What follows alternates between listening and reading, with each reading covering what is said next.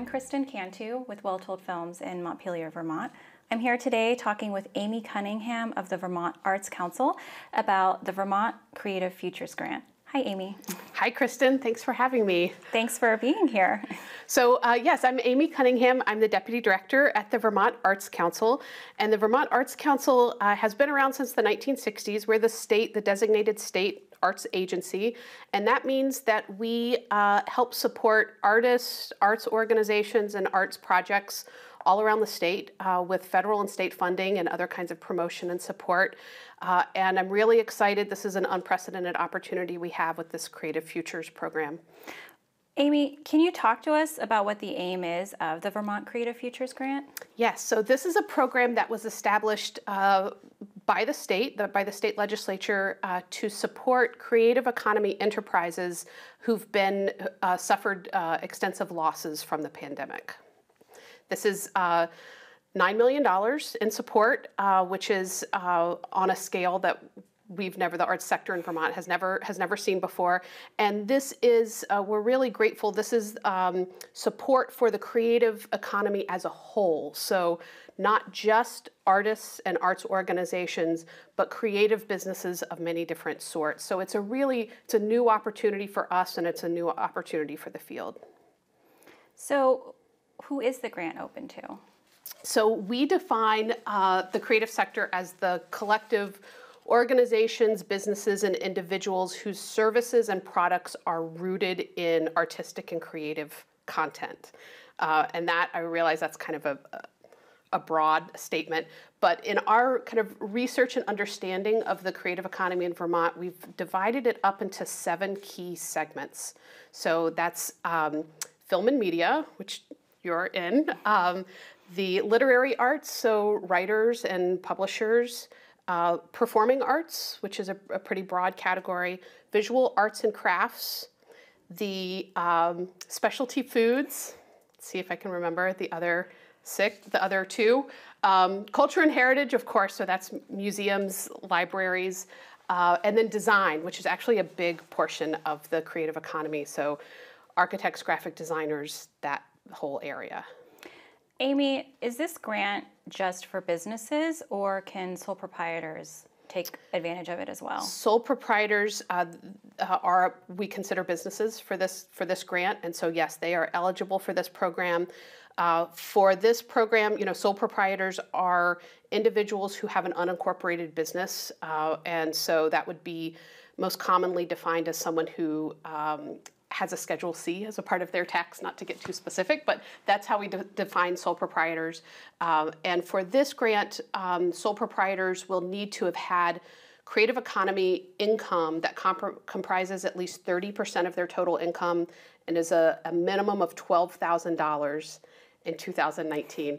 I'm getting really specific with some of these details, but uh, folks should know that our website, um, Vermont Arts Council, will have all of the specific guidelines and application details um, there. Uh, the sole proprietor grants will be flat grants of $4,000.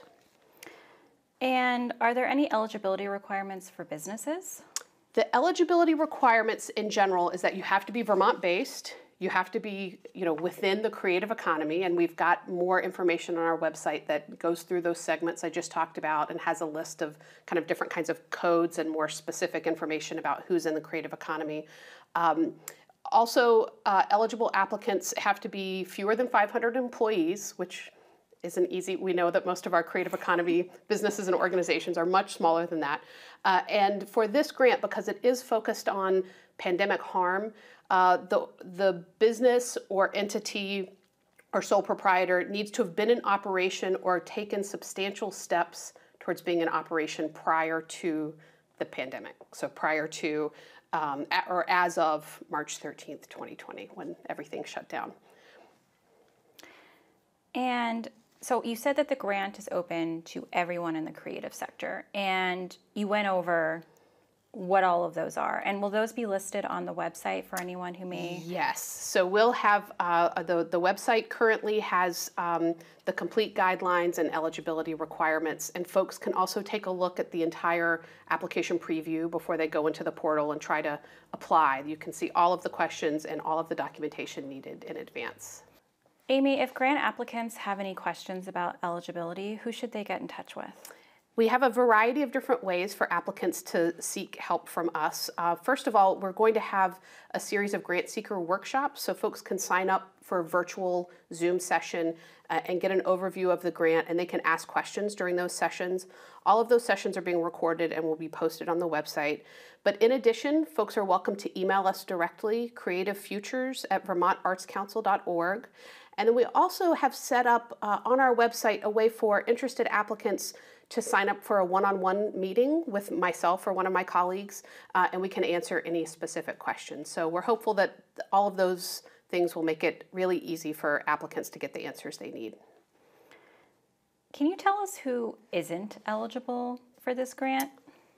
So if you're if you're an individual but not operating as a sole proprietor, um, then you would not be eligible for this grant. This is for um, businesses owned by folks who are 18 years of age or older.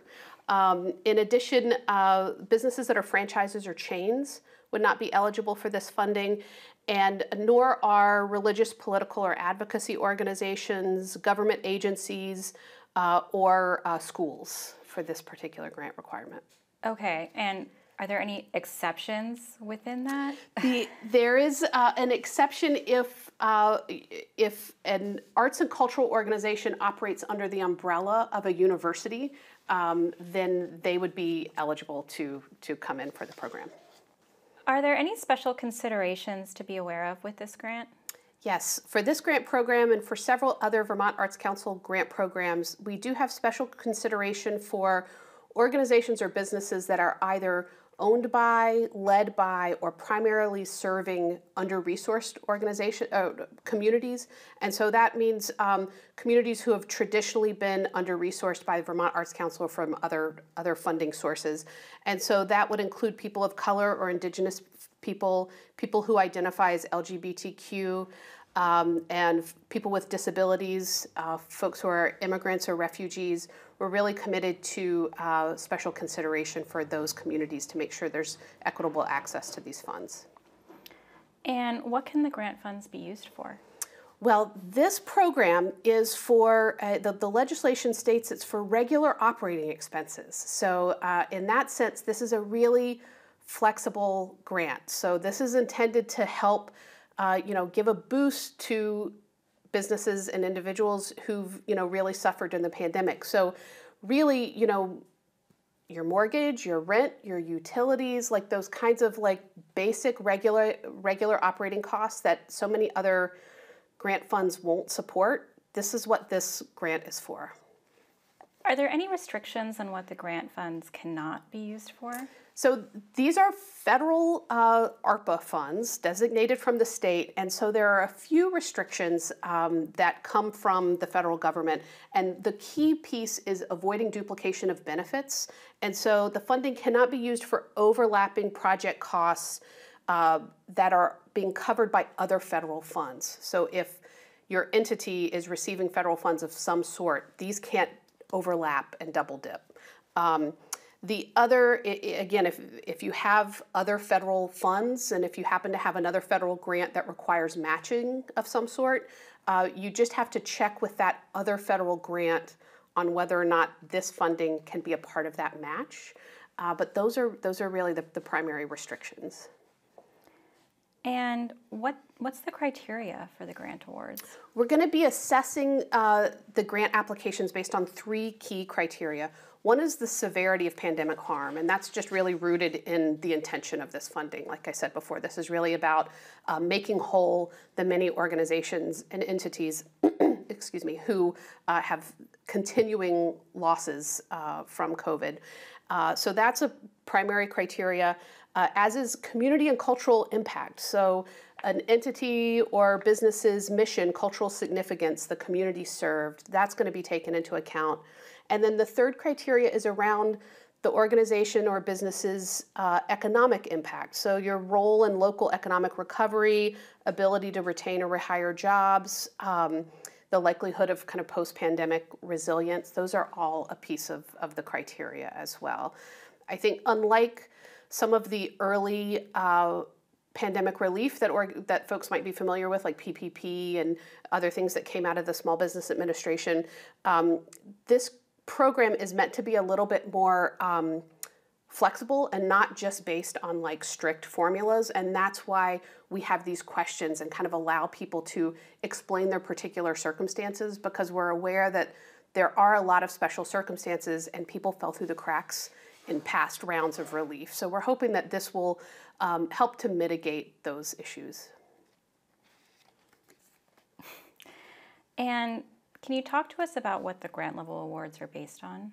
Yes, so these are flat grant amounts based on a tiered system. And so um, on the website, you can, you can look at the chart and you uh, take your 2019 operating revenue and then look at the chart and find out what your grant amount would be.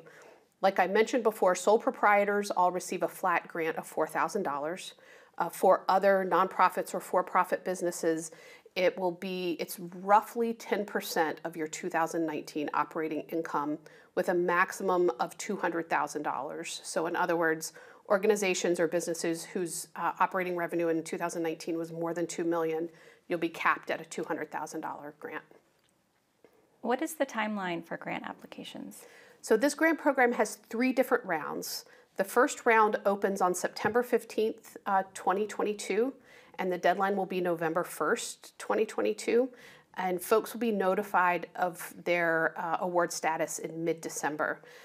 The second round will open at the beginning of 2023, uh, and then there will be a third round that will, will open uh, in the spring of 2023. Uh, if your application is not approved for funding in one round, it will automatically be moved over into the next round for consideration. Amy, if you get approved for funding in the first or second round, are you allowed to apply in another round for additional no, funding? we, we want to make room for, for everyone, so we're not open to multiple grants. And Amy, can you tell us how applications are reviewed and selected? Yes, so we will do an initial screening internally for eligibility. We'll take a look and make sure all of the financial documentation that you need, that everything's all there. And then we'll have a, a large team of outside reviewers who will all read and score and provide comments based on that criteria, those three criteria I just explained. Uh, and then from there, we'll take a look and evaluate and make the final decisions based on the, the funding we have available. Amy, how does an individual or a business in the creative sector apply for this grant? First step is to take a look at our website and look at the eligibility requirements and take a look at all the documentation needed and make sure that that's all going to work for you. I encourage everyone to, uh, you know, either attend one of the grant seeker workshops, which will be on Zoom. Folks can register on our website, or uh, watch the grant seeker workshop uh, video after they've been uh, recorded uh, and follow up with us with any questions. Like I mentioned before, you can take a look at our application preview before you go into the online portal to apply, and that way you can make sure that all of the questions make sense and you've got you know the answers you need. You're able to to um, gather the information you need to apply. And then from there uh, applications go through an online portal um, uh, which is uh, right on our website are there any specific documents that are required for this grant? So there is a, a, fair amount of financial documentation that we do need for this grant, and that's because uh, part of the grant eligibility is about documenting your continuing losses from COVID. So we will need the last three years of your tax returns. That's the that's the big piece, uh, because again, the grant award is based on your 2019 um, operating revenue. So we need to look at how things were for you before the pandemic and then through the pandemic. Um, in addition, we'll need uh, a profit and loss statement and balance sheets from the current year that you haven't filed taxes for yet. And again, this is all uh, the documentation we need to assess that you have continuing unmet need uh, from the pandemic. Um, and then related to that, we'll also need within the application, you'll need to provide a full accounting of all other relief that you may have received throughout the pandemic.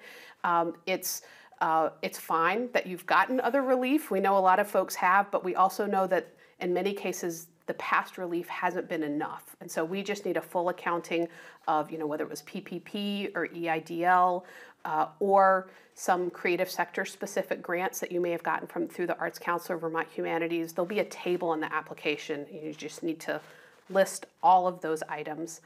Um, there will be, again, this is um, federal funds uh, coming through the state, and so there's a list of attestations, um, meaning you just have to kind of read and agree to um, some certain conditions that you're, you know, eligible to receive this money and uh, not debarred from receiving federal funds, things like that. Uh, that again, you can read through all of those things uh, in advance of applying.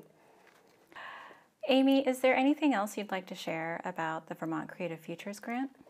Well, this investment is a recognition by the state legislature and the state administration that the creative economy not only has suffered through the pandemic, uh, we're all aware of theaters and musicians, folks whose you know uh, entire um, livelihood was really on the line during COVID.